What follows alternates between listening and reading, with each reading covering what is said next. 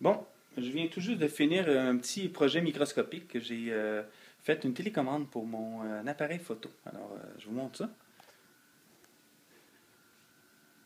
Donc, ça, c'est mon interface. J'ai déjà transféré le programme à l'intérieur. Oups, j'ai enlevé mon interface FDDI.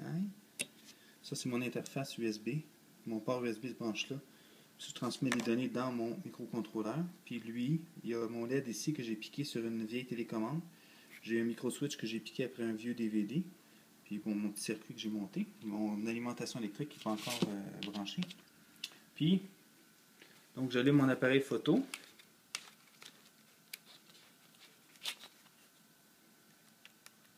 On va la mettre en mode en mode remote. Je pense qu'elle était déjà remote control.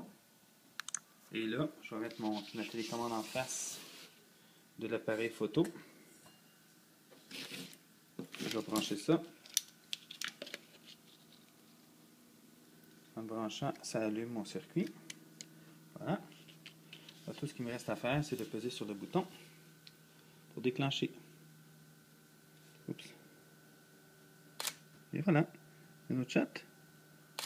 Et voilà. bu ne?